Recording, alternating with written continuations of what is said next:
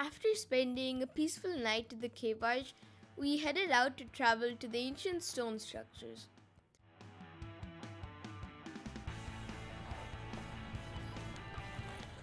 The trail from which we came the previous day was very rocky and difficult, so we decided to try another trail. But we soon realized that it was heading the opposite direction. So eventually we had to retrace our steps.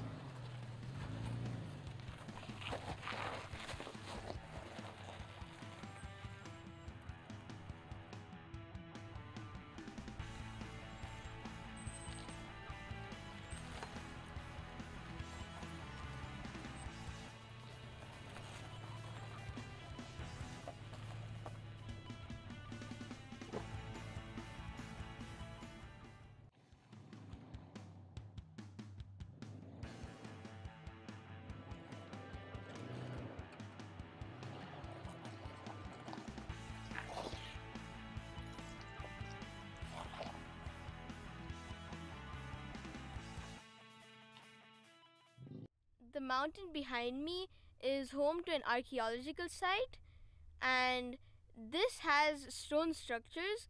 There are different types of stone structures.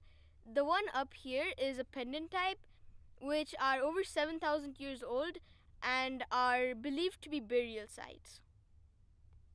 While we were in the air we actually spotted a second stone structure at the other end of the mountain so when we came in closer to investigate, it seemed to be another pendant type structure, but the features of this one were more eroded.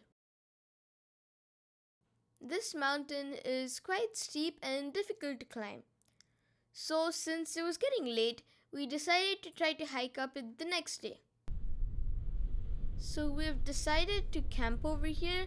We're not far from where the mountains with the stone structure is, and we're just going to settle down and wait for the sun to set.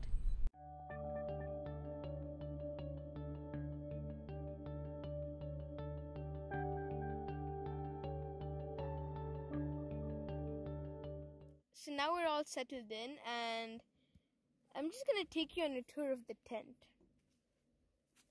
So we step inside.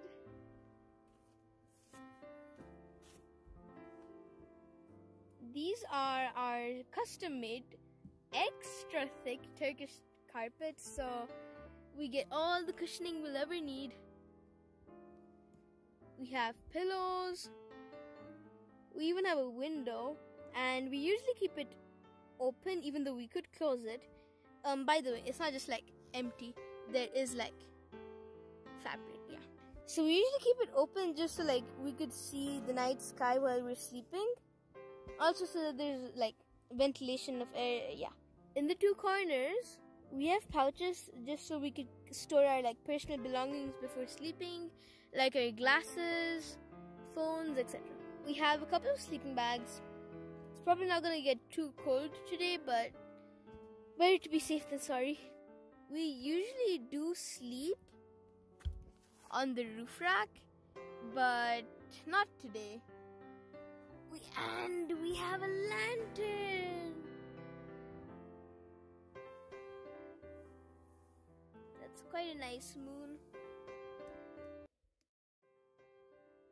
Gonna be having fried noodles for dinner today. So this is how to use a kitchen knife.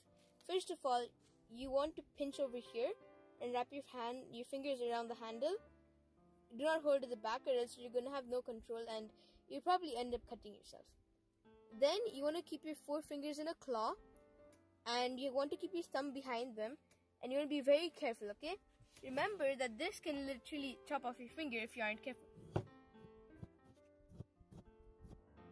So first you add some oil and you add the onions and you just wait until they're brown.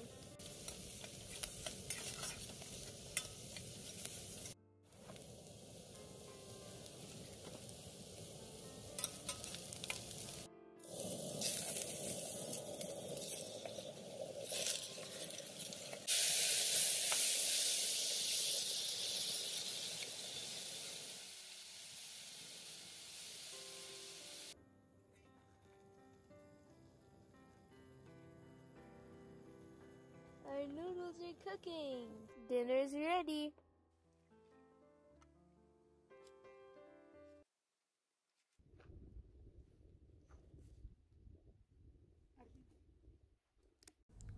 Don't know about you, but it's quite eerie camping so close to a burial site.